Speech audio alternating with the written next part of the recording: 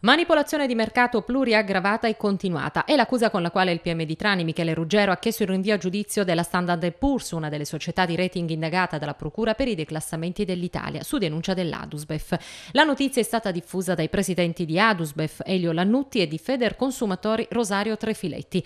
L'atto notificato all'agenzia sarà consegnato alla Consob perché valuti la possibilità che S&P possa continuare ad operare in Italia. L'inchiesta sulle agenzie di rating coordinata dal PM Michele Michele Ruggero della Procura di Trani prese le mosse, ricordano i presidenti delle due associazioni di consumatori, nell'estate 2010 in seguito ad una denuncia di Adusbef e Feder Consumatori sull'operato di Moody's. Poi ha riguardato i casi relativi a S&P e Fitch. Cinque le persone a cui sono stati notificati gli avvisi di garanzia, oltre agli analisti, spiegano le due associazioni, sono indagati infatti anche l'ex presidente Devin Sharma e l'attuale responsabile dell'Agenzia per l'Europa, Jan Lepallec.